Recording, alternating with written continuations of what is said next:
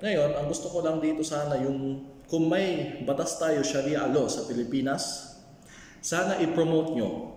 Sana gawa kayo ng something, website, gawa kayo ng Facebook, i- ipaalam nyo sa mga Muslim sa Pilipinas na meron tayong Sharia law, meron tayong sariling court. Mga Muslim na pupunta kay Tulfo, parang kafir, batas ng taong ginagamit na hindi na batas ng Allah. Well, kasalanan natin. Saan, nasaan na yung pinopromote natin? Sakit ng mga Muslim sa Pilipinas. Karamihan. Alam ko yan. Pera lagi. Assalamualaikum. So sa video na ito, pag-uusapan natin about yung napanood ko lang kahapon, yung ah, isang Muslim na babae, Muslima, na pumunta kay Rafi Tulfo at nag-complain sa kanyang ah, problema sa buhay. So una sa lahat, uh, Alhamdulillah Rabbil Alamin, ang lahat ng ah, pasasalamat ay sa Allah, ang Panginoon ng buong sanlibutan. At ang kanyang habag at awa ay masa huling propeta natin na si Propeta Muhammad at sa kanyang kasamahan at sa kanyang pamilya at sa sino man sumunod sa kanya. So dito, ang masasabi ko lang sa, nangyari, sa nangyayaring ito, nakakalungkot isipin na makakita ng mga Muslims na talagang kulang sa kaalaman. Pero alam mo, sa totoo lang, wala nang ibang dapat sisihin dito kung hindi sarili lang natin. Sarili lang natin ang kailangan natin sisihin. Kasi hindi natin ipinapalaganap ang Islam abot ng ating makakaya. Kahit turuan ng kaibigan natin, pamilya, about sa tamang details o turo ng Islam. Hindi yung puro nga pinagbabawal lang natin sila sa mga bagay na hindi naman nila alam kung ano ang dahilan bakit pinagbabawal yon. Di ba? At sa ganon, ah, hindi din natin masisisi itong babae at hindi din siyang pwedeng sabihan ng hindi Muslim. So, alam natin na sa tribu niya, kasi buti din itong babae na hindi niya masyado inaangkin na siya ay Muslim. Pati yun, ini-explain niya yung bawal yun sa kanila, ginagamit niya ah, culture, kultura nila o sa tribu nila.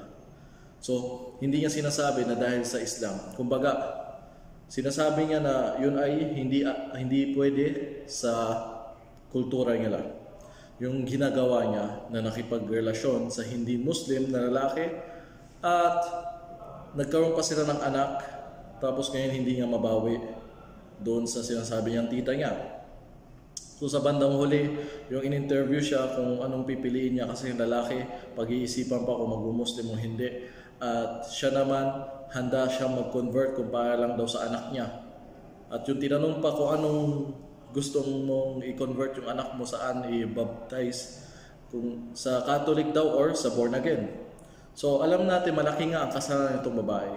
Nag-promote pa siya ng mga walang kwentang bagay. So alam natin sa tribu pa naman niya, sinasabing maranaw daw siya. At alam natin talagang maraming galit na galit yan. Yung, yung tribu niya ito, ito yung mga nag-alaga sa akin ng 7 years mahigit. Lumaki ako sa kanila. So, alam na alam ko yung ugali nila, parehas ng Arabo, lalo parehas ng Palestinian, mga ma-pride talaga. Pride pa naman nila yung babae. So, hindi nila matatanggap ito.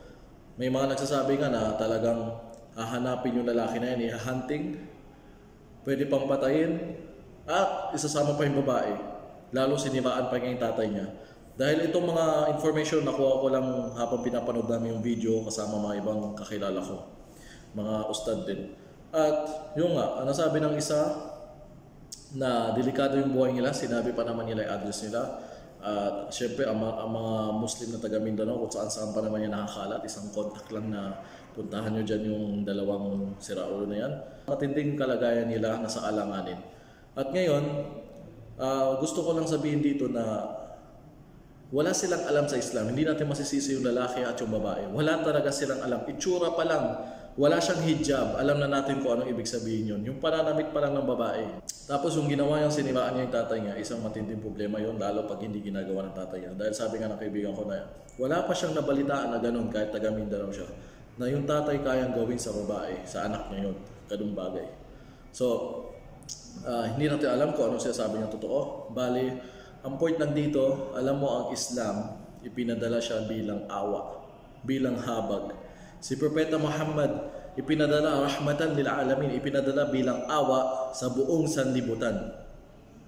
Awa, habag siya para sa tao. So, ang Islam, andoon yung habag at awa para sa mga tao na bigyan sila ng chance unawain yung batas ng Diyos. Unawain ano ba yung mali na ginawa nila. Kaya wala tayong ibang masisisi dito kung hindi yung mga katulad natin na hindi isinishare ang tamang aral ng Islam nang sa ganun may matutunan itong mga tao. Tsaka habang bata pa lang yung babae, alagaan natin ang mga anak natin. Ipaintindi natin kung bakit bawal, bakit ano yung details, ano yung pwedeng mangyari sa kanya. So, kung sakaling nagkakagusto man siya sa ibang lalaki na hindi Muslim, kailangan yung lalaki ay mag-Muslim. Pero sa totoo lang, sana hindi patayin itong lalaki na ito. Dahil masyadong mukhang kawawa, ang bata, payat, halatang na-inlove lang sa dalawa. Ngayon, kung bubugbugin man lang itong lalaki na to, sana makikalat sa social media. Kasi para matutunan ng mga ibang lalaki dyan na nakikipagrelasyon sa mga babaeng Muslim namin, na alam nyo ang babae sa amin ay mas mainam pa sa ginto, diamond ang babae sa Islam. So, nasa Quran, ang batas ng Allah, ang Diyos, ang doon sa Quran. Ang babaeng Muslim ay hindi pwede sa hindi Muslim na lalaki. Tapos ang usapan. Whether Romeo Juliet, I love you each other, wala kaming pakiram doon. Ang babae na Muslim sa lalaking Muslim. Tapos. So, uh, ang lalaki pwede mag-asawa ng hindi Muslim, basta siya ay kabilang sa mga Hudyo at Kristiyano. Yung people of the book, yung anak ni Abraham. So, dito lang kami pwede mag-asawa. Bukod dyan, Buddhist, Hindu, iba pa, atheist, hindi na kami pwede mag-asawa din dyan. Bawal din ang mga lalaki Muslim mag-asawa sa mga tao na yon. Hanggat hindi siya maging Muslim o maging Christian or Hudyo. Pag hindi siya kabilang sa Hudyo at Kristiyano, bawal din sa amin mga lalaki. Hindi lang ang babae. So yun, malinaw na tayo doon. Ngayon, ang gusto ko lang dito sana yung kung may batas tayo Sharia law sa Pilipinas, sana i-promote nyo.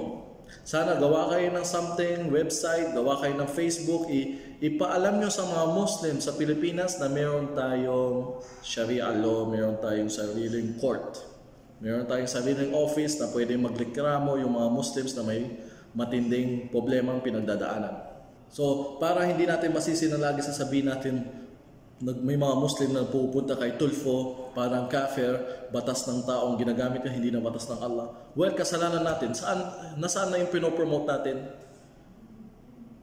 Hindi din tayo gumawa ng ganong program pero sa privacy. Parang Islamic Tulfo. Something na may office, okay, andyan kayo, yalla, mag-complain kayo. Walang video dito, privacy. Complain kayo. May sarili tayong uh, Islamic in action. Hindi din natin masisisi. At isa pa, huwag puro pera. Yan ang number one sakit ng mga Muslim sa Pilipinas. Karamihan. Alam ko yan. Pera lagi. Dahil may problema din ako sa anak ko na may, may kailangan kaming gawin, kukuha na sana kami ng lawyer something, agad-agad ganito ang ginahanap. Anong klaseng Islamic Sharia law na tutulong ka na nga sa kapwa mo Muslim, ganito pa ang hinahanap. Pera. So sana itabi nyo yan, isampal nyo yung pera sa mukha nyo, itabi nyo yan, isipin nyo yung akhira, isipin yung kabilang buhay, yung pagtulong sa kapwa mo na kahit walang sinisingin na malaki. Si Tulfo, siya pa ang nagbabayad. Siya pa ang papakainin ka pa, babayaran pa masahe mo.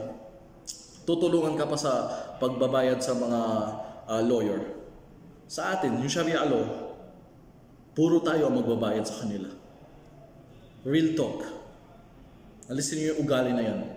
Pagkamalan pa naman tayo mga Muslims. So, sana meron din tayong magandang Sharia law na office, something na pwedeng puntahan na sumbungan ng bayan ng mga Muslims, okay? At para hindi na tayo pupunta kay Tulfo. Para wala magsasabi na, oh, parang kafir, pupunta kay Tulfo. Tapos isa pa, yung init ng ulo natin na gusto natin patayin yung tao sa ginawa ng kahihiyan, o andun na tayo.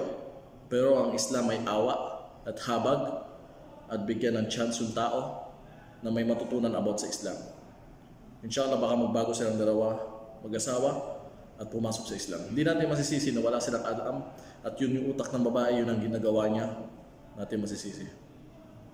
So kung ano man na silawan siya sa ibang religion, hindi niya alam na ito ang Islam mas maliwanag na hindi lang naipakita sa kanya. Sana may natutunan tayo doon. nasa atin ang kasalanan at wala sa ibang tao. So alagaan natin sana sa mga ganitong bagay na mapapanood natin, may matutunan tayo at ma- maalagaan natin yung mga anak natin ang importante. Sa akin, meron din akong pasaway na kapatid na medyo family problem siya dahil kino-convert ng tita ko sa ibang religion at hindi din ako pwede magmalinis dito pero ginagawa namin the best namin. Ang hindi ko lang maintindihan kapag sarili mong anak.